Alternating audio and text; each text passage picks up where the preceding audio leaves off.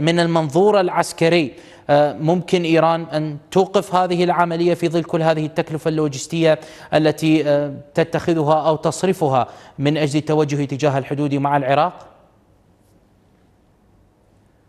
بسم الله الرحمن الرحيم بالحقيقة إذا قرأنا يعني مجريات الأحداث آه، فيما يجري في خط التماس الحدودي ندرك حقيقة أن النوايا بالنسبة لإيران تتجه باتجاه العمل العسكري تعبويا الاجتياح ربما يكون الاجتياح لبضع كيلومترات أو أكثر عمقا ولكن هو من حيث التوصيف. عسكريا هناك انتهاك للحدود واجتياح لفرض واقع حال.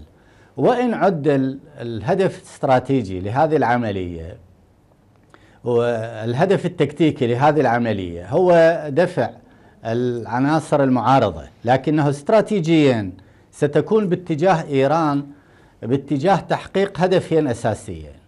رفع منسوب الضغط على الحكومة الاتحادية وحكومة إقليم كردستان وأيضا إشارة إلى الدول الراعية والداعمة لإقليم كردستان وفي مقدمتها الولايات المتحدة لأنه على المستوى الاستراتيجي إيران ترى أنها ما عادت تتحكم في المعبر القائم البوكمال عبر العزل الجغرافي الذي تحقق وعبر مسك جو.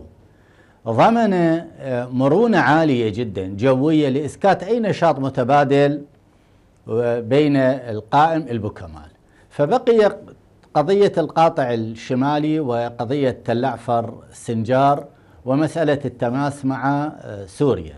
وفي ذات الوقت ترى إيران أن هناك حراكين ربما ليست روسيا بعيدة عنه ونشاط أمريكي وعبر الحلفاء في مسألة استبدال النظام السوري ومسألة استبدال النظام السوري يعني أن مشروع العزل الجغرافي الذي ابتدأ عسكريا سيتحول سياسيا إلى عزل سياسي لإيران لأنه معنى ذلك أن إيران بل حتى تركيا ستخرج من المعادلة وتبقى قضية التفاهمات على المجال الحيوي الضامن للأمن القومي الأمريكي أو الروسي في سوريا سيتحقق عبر تفاهمات وأوراق الضغط متبادلة بين روسيا وبين الولايات المتحدة في قضية أوكرانيا.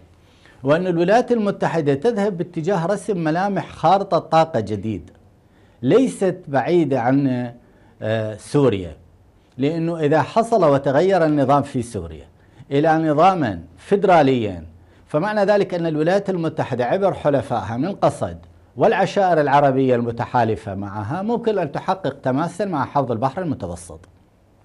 وهذا طبعا يعطي مرونة إلى أنه المشروع الذي ابتدأته ال I 2 وال U 2 وأعني بها كل من الهند وإسرائيل والإمارات والولايات المتحدة في ربط خط تنمية عصري تشترك فيه الإمارات والمملكه العربية السعودية وصولا إلى الأردن وتحقيق تماس مع حوض البحر المتوسط في معابر سلاسل بحرية وسلاسل نقل برية عبر خطوط النقل.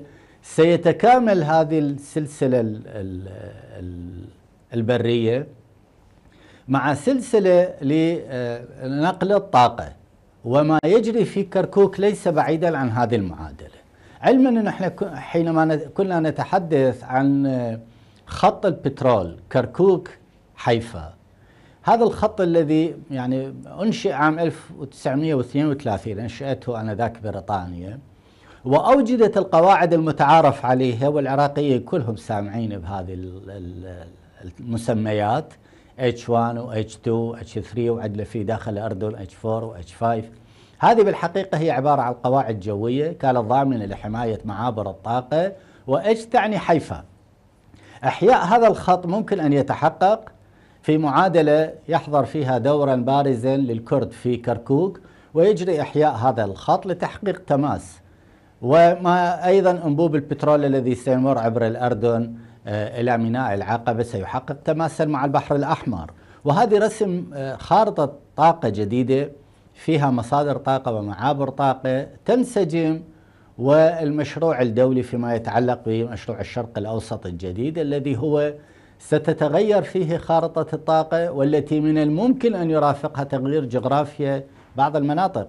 وليست بعيدة عن مجريات الأحداث نظرية آه، كيسنجر يوم تحدث عن لبنان بوصفها الفائض الجغرافي. يعني الآن عمليات إحياء عملية إحياء الاقتصاد اللبناني والوضع في لبنان طيب. لا يزال متلكئ وأن لبنان قلق وضعها قلق جدا. فإذا نحن أمام معادلة كبيرة جدا. هذه التوازنات في البعد الاستراتيجي حاضرة ولذلك التحشيد. النشاط الآن الدبلوماسي الذي يجري بالمناسبة هو نشاطا سياسيا بمعنى يتعلق بالخارجية الإيرانية. وأنا في تقديري وتقييمي لصنع القرار في إيران القرار الذي يمتلك النفاذ ويمتلك الفوقية على القرارات كلها هو قرار الحرس الثوري. وبالتالي حتى إذا ظهرت آه، بعض التفاهمات عبر وسائل الإعلام ففي تقديري أن الحرس الثوري قد عقد العزم على اجتياح.